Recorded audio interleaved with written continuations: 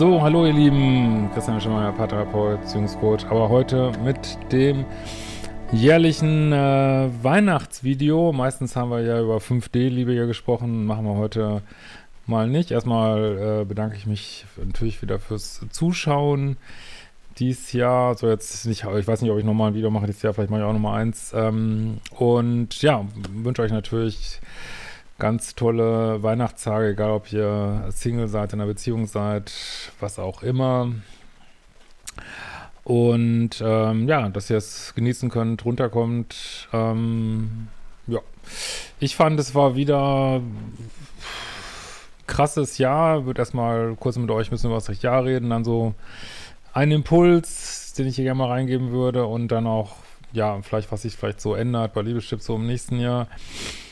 Äh, ja, ich fand's, mein Gott, das war ja wieder ein Krisenjahr. Man liest, ich weiß nicht, ich gucke jetzt schon ewig keine Nachrichten mehr, keine Ahnung, immer noch so viel über Ukraine-Krieg und alles, aber das ist ja Wahnsinn. Wann hatten wir das zuletzt? Das ähm, Corona, Corona, Corona-Krieg. Ähm, also ich erlebe das schon, dass die Menschen, äh, ja, dass sie das sehr anträgert, auch eine Menge Angst macht. Also jetzt, aufgrund dieser ganzen Krise gibt es ja auch diese ganzen Geldthemen und alles. Also Wahnsinn. Und ja, ich habe das Gefühl, die Leute sind noch gar nicht wieder von Corona noch gar nicht wieder so richtig aus sich rausgegangen und sind noch so im Winterschlaf und da kommt gleich die nächste, der nächste Mist irgendwie und ähm, boah, das ist schon äh, echt sehr herausfordernd und ähm, weiß ich nicht, da ist auch so viel Veränderungsdruck gerade da, sag ich mal. Also man merkt, man, man sieht ja förmlich, keine Ahnung, man steht morgens auf und das Gefühl, boah, die Welt hat sich schon wieder verändert und auch eben nicht immer nur zum Guten, ne? Ich meine, Deutschland wird auf allen Ebenen so nach unten durchgereicht äh, und naja, vielleicht müssen wir das auch mal erleben, wie das ist. Ähm, aber gut, das ist ja jetzt nicht mein Thema, aber ich stelle es nur fest, irgendwie, das Land verändert sich total. Ähm, ach, also wenn ich jetzt mal in eine Stadt komme, wo ich zehn Jahre nicht war, ich denke mir, ey, das, das kann nicht wahr sein. Das ganze Stadtbild hat sich komplett geändert, äh, alles, alles anders und ein ganz anderer Vibe und naja, äh, keine Ahnung. Ich finde es manchmal ein bisschen krass, aber das ist vielleicht, wenn man über 50 ist, ist man vielleicht auch ein bisschen so, boah, ey, kalter Falter, was, was kommt da doch alles in diesem Leben, ey, ist ja, ist ja wirklich verrückt. Aber ja, was ich auch schade finde, was ich auch immer nach wie vor sehe, dass Menschen sind einfach nicht mehr entspannt, ne, sind angespannt. Wir erleben das auch viel im Support, äh, viel Ungeduld und man darf mal alles nicht auf sich beziehen, aber äh, kenne das auch, wenn ich mit Leuten im Einzelhandel mal rede, ist es einfach, alle sind angespannt, alle sind gestresst, alle äh, haben Angst, dass jetzt dass man wieder über den Tisch gezogen wird und was, also es ist hoffe, dass wir alle ein bisschen mehr entspannen können nächstes Jahr, dass ich vielleicht auch so weltwirtschaftlich das eine oder andere mal löst und genau, da kommen wir auch zum Impuls, den ich mal reingeben wollte dieses Jahr ist, ähm, ja, versuch doch nochmal noch mehr deinen Weg zu gehen, so, ne? Also noch mehr deine Wahrheit zu leben, so das zu denken auch zu sagen, was du meinst, aber nicht auf so eine Ego-Art, weil ich habe schon, also ich persönlich glaube ja nicht, dass wir uns irgendwo zurückentwickeln, aber ich fand schon, dass sich sehr viel Ego gezeigt hat im letzten Jahr, also bei uns allen. Äh, und ich sehe das auch klar jeder hat Ego, muss damit leben. Aber äh, viele sprechen so ihre Wahrheit, aber es ist, ich weiß nicht, das ist, weiß nicht, ob mir ist das wieder sehr aufgefallen auf Social Media, weil das ist wirklich halt immer in diesem Konflikt ist, ne? Dieser, ich bin schlauer als du, du bist bescheuert, du bist blöd, du bist, du hast keine Ahnung, äh, so und, und dieses, auch dieses ganz krasse Bewerten von anderen Menschen. Also ich weiß nicht, ob ich mich da verändert habe, dass mich das immer mehr stört oder ob das wirklich so viel mehr war dieses Jahr. Ich finde es einfach krass und ja, also sprich deine Wahrheit, geh deinen Weg, aber geh deinen Weg so, dass du ihn auch gehen würdest, selbst wenn es keiner mitkriegt, dass es dein Weg ist. Ne? Also dann kann man immer ein bisschen sagen, man ist nicht so im Ego, wenn man immer so, hallo, hallo, guck mal, hier ist mein Weg. Äh, oder du immer in Auseinandersetzung bist mit anderen über deinen Weg. Ja, dann bist du immer noch nicht entspannt bei dir selber, sondern machst das immer noch viel fürs, fürs Außen und damit auch oft fürs, fürs Ego. Und wie gesagt, ein bisschen Ego ist auch nicht schlimm und können wir, können wir mit leben, brauchen wir auch jetzt im Überleben, aber ja, versuch mal noch mehr, ist auch eine Challenge, die, die ich habe ich hab die auch für mich so, äh, ja, de deine Wahrheit zu leben, auch wenn andere das vielleicht awkward finden oder wenn es komisch finden. Ich habe es auch nochmal gemerkt bei dem Selbstbehauptungskurs, der war ja so das letzte größere Projekt äh, des Jahres, ja, wie sehr das, wie gut das den Menschen tut, dieses außer Box rausgehen, sein Ding machen, ähm, Sachen machen, die andere nicht verstehen, irgendwie, ne, für sich einstehen, äh, wie gut uns das eigentlich allen tut.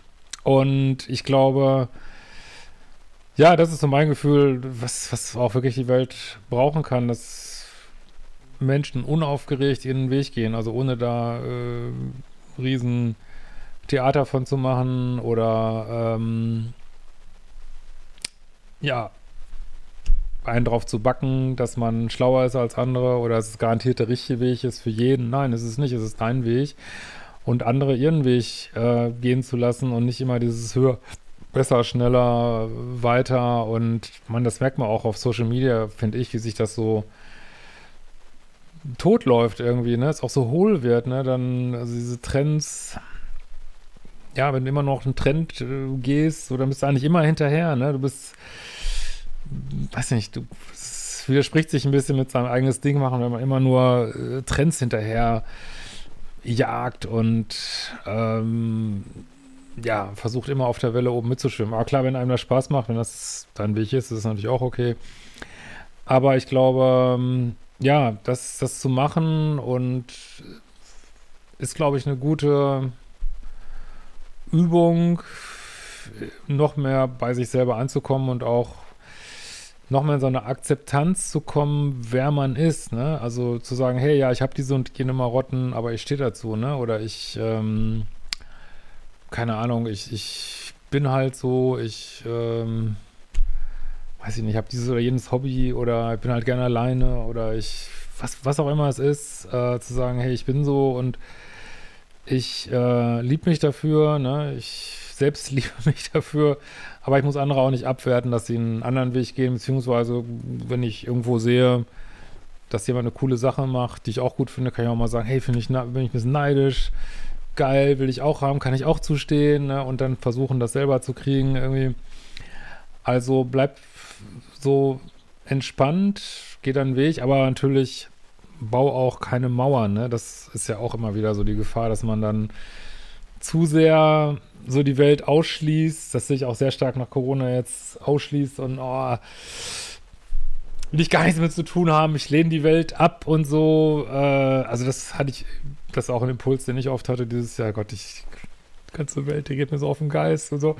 Aber das ist auch schon wieder zu viel Abwehr, ne? Also versuch, deinen, deinen Weg zu gehen und trotzdem das Schöne, was einem oft ganz unverhofft über die Füße fällt, manchmal mit zufälligen Beweg Begegnungen im Alltag oder ja, bist gerade an einem ganz schönen Ort oder so und plötzlich, plötzlich ist die Welt einfach schön und toll und versucht das zu genießen und ähm, ja, und versucht hier keinen Reim drauf zu machen, was hier gerade alles in der Welt passiert. Ich glaube, das äh, ist äh, unmöglich. Das ist, ja, ich in meinem Buch hier Neue Dimension der Liebe gesagt habe, dass äh, diese, diese habe ich ja, wo wir gerade sind, vierte Dimension genannt oder manche nennen das vierte Dimension, sagen wir mal so, wo es eben diese ganzen Kämpfe gibt zwischen ja, dass wir weiter unser Bewusstsein nach vorne treiben wollen, aber ja, damit halt auch immer mehr hochspült, was wir uns noch nicht angeguckt haben und das müssen wir uns dann angucken und das sind halt super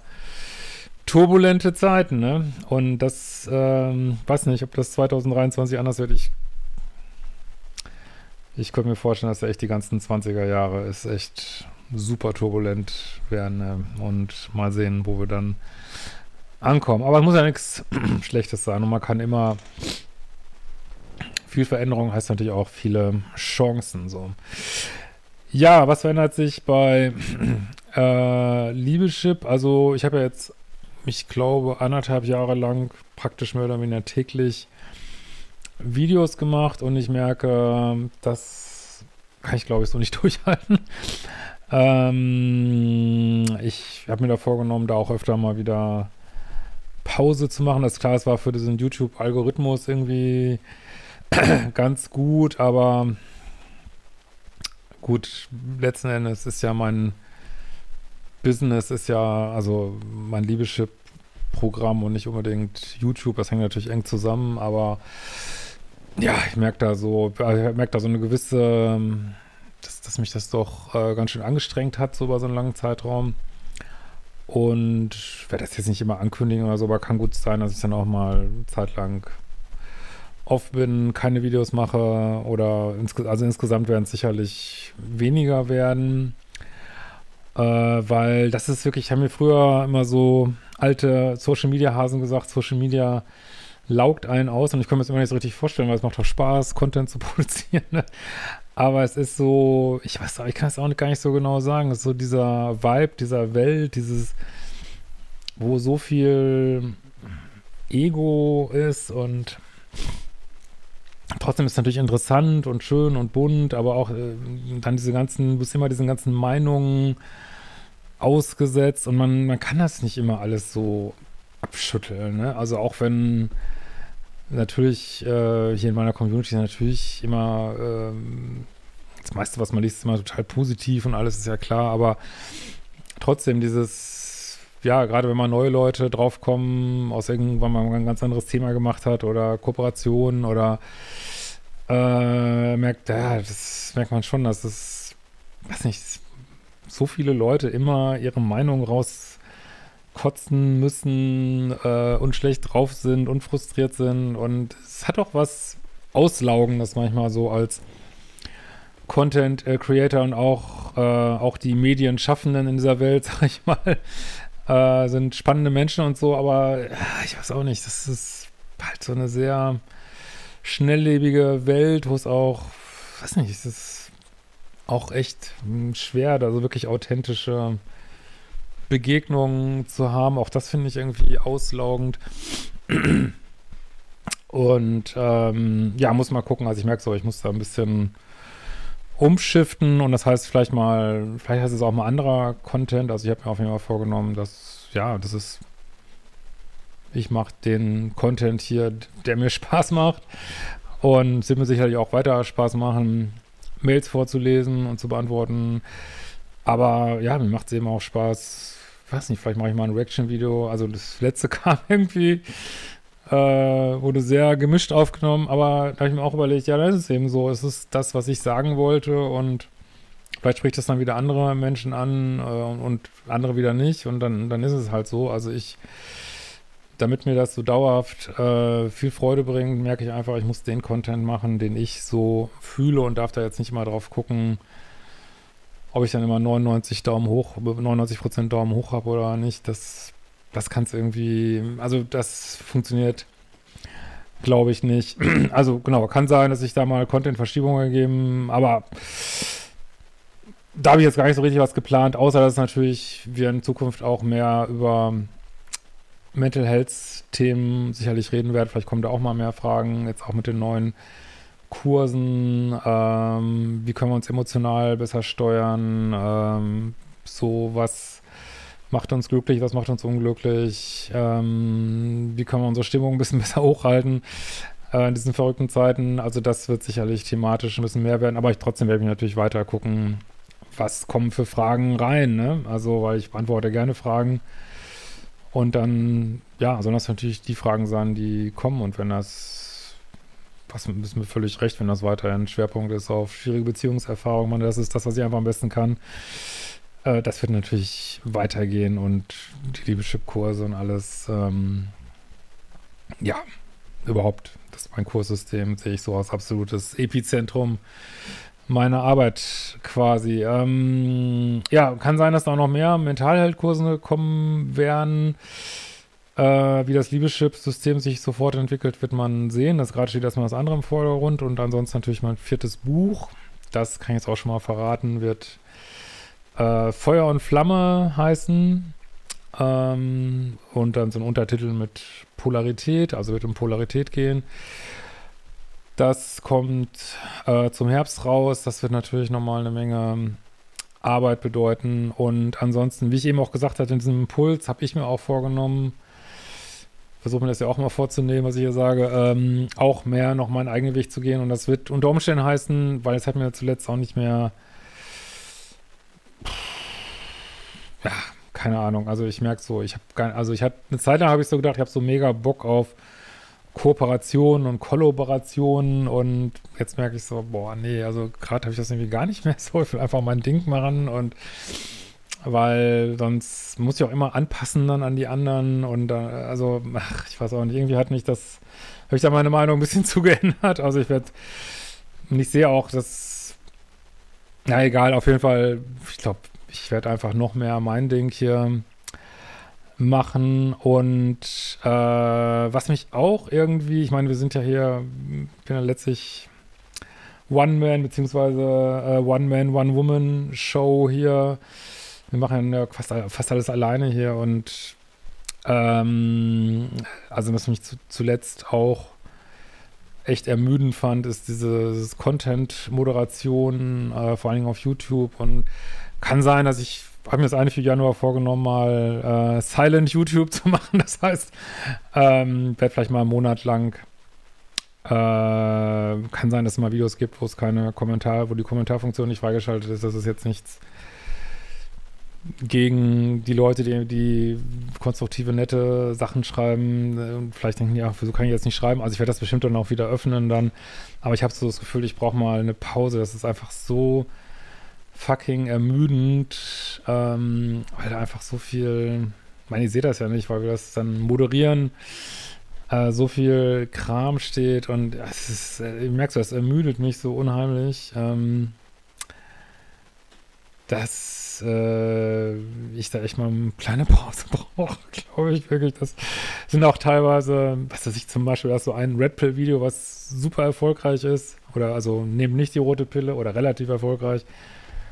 Und jeden Tag wird er, äh, also jetzt, wenn man eine andere, jemand eine andere Meinung dazu hat, bin ich total fein mit das lasse ich auch alles stehen, aber jeden Tag wird er drunter gerentet und oh, ich kann das einfach ich kann das irgendwie, ich brauche eigentlich mal einen Monat Pause, glaube ich, und vielleicht wird das noch öfter vorkommen. Ich kann das einfach nicht mehr sehen, was auch immer das Gleiche ist und ah, ich ist einfach ermüdend, manchmal so die Projektionsfläche zu sein für alles Mögliche. Und äh, wie gesagt, das würde ich mir so wünschen, dass wir einfach unterschiedliche Meinungen haben können. Das kann so stehen bleiben. Und ähm, ja, wie gesagt, gerade mit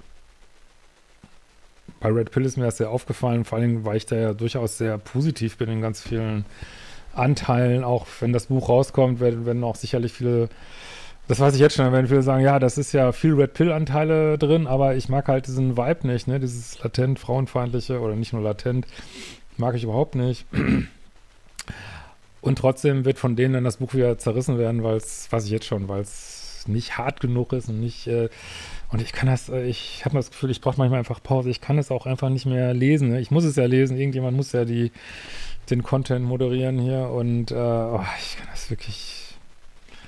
Es erschöpft mich. Es erschöpft mich einfach. Und naja, da muss ich ein bisschen drauf gehen. Also merke schon, dass es jetzt eine neue Phase kommt nach ähm, sieben Jahren YouTube und fünf Jahre Liebeschip. Merke ich schon, dass das Schiff mal so ein bisschen neuen Kurs braucht, weil das ist echt, ähm, also der Job ist nicht so easy, wie das vielleicht manche denken. Du machst ja nur Videos oder was weiß ich und nur Content produzieren.